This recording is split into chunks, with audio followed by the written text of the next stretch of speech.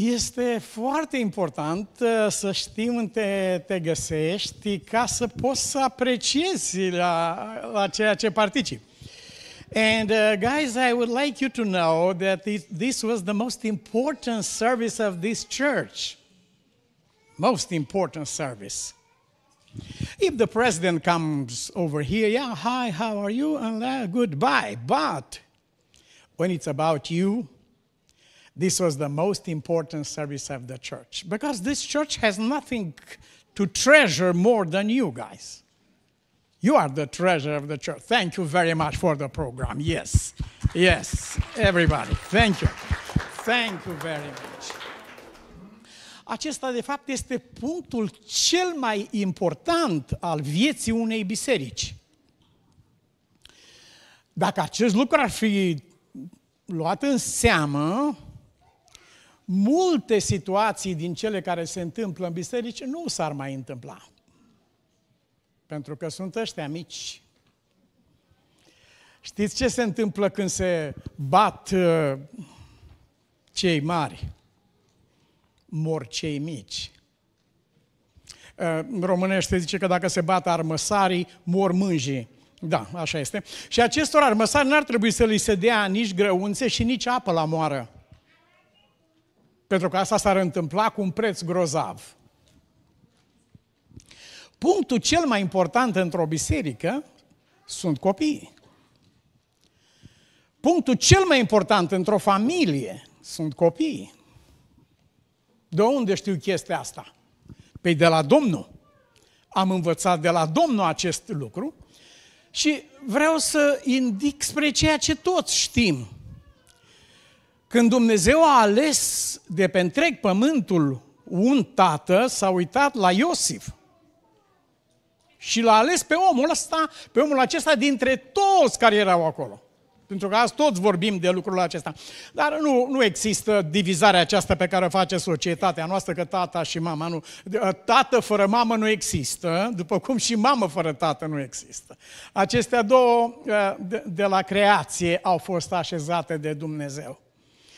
Iubiții mei, ne uităm întotdeauna la diverse pagini în Scriptură și se întâmplă nefericit că rămânem cu ce nu trebuie și pierdem ce trebuie. Dacă vorbim acum de potopul lui Noe, o să ne gândim la potop, o să ne gândim la toate, când de fapt, de fapt, acolo, punctul principal la tot ce se întâmplă acolo este să-și scape casa. De aceea vorbim de corabie, de ape, de tot ce s-a... Să-și scape casa. Acestea sunt mijloace care au fost puse în slujba punctului cel mai important, să-și scape familia.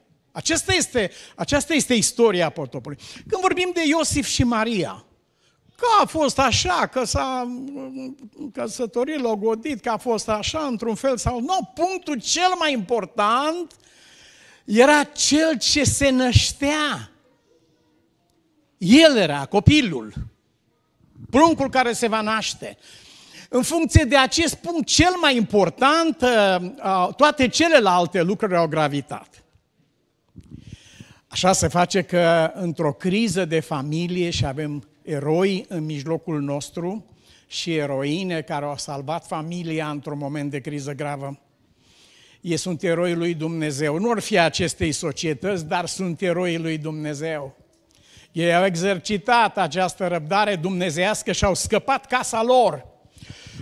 Iosif este într-o criză de felul acesta. Ce să facă? Este un om credincios, este o situație grozavă din care el nu este parte și atunci în mintea lui întreabă, Doamne, cum ai procedat Tu în această situație? Și el împletește acolo harul și legea lui Dumnezeu. Pentru că este un om neprihănit, nu va fi parte din așa ceva și pentru că este un om neprihănit, va aplica harul lui Dumnezeu și nu va produce rușine, nu va vorbi în fața copiilor nerespectos cu soțul sau cu soția. Punctul cel mai important este cel care se va naște, dar el nu știe acest lucru. În momentul în care îngerul vine și îi vorbește, și îi spune, vezi că nu e vorba de tine, nu e vorba nici de ea, ci este vorba de cel ce vine. În clipa aceea, omul ăsta nu este un fixist. Am zis așa, că nu, nu este un fixist. Imediat se supune cuvântului lui Dumnezeu ca să poată să deschidă drumul pentru venirea aceluia al cărui nume a fost așezat de el. Domnul i-a spus lui, lui Iosif, tu vei așeza numele acesta Isus, în care astăzi se închină miliarde de oameni pe planeta aceasta.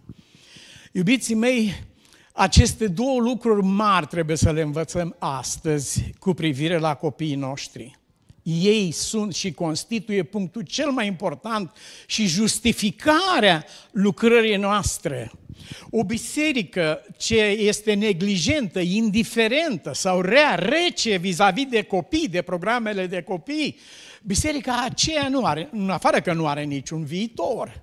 Ea nu poate să poarte numele acesta pentru că ea e dată tocmai ca să creeze un mediu de, pentru venirea lor în lume.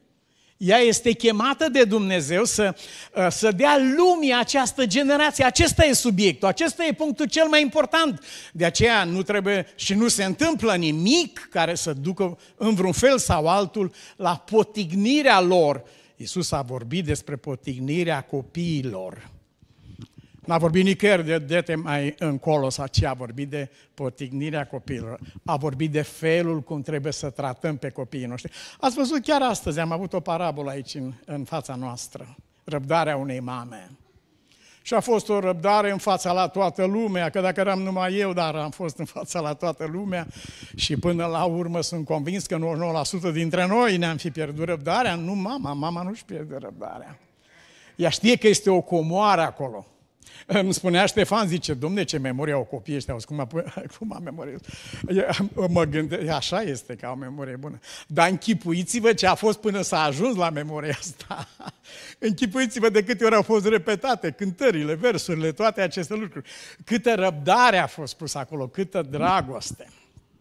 Aceasta este înalta noastră chemare, iubiții mei, și mă rog bunului Dumnezeu ca locul acesta să fie un loc binecuvântat, favorabil, un loc sfințit de Dumnezeu, unde această generație să cunoască pe bunul Dumnezeu pe care să-L ducă apoi în lume, așa să ne ajute Dumnezeu. Amin.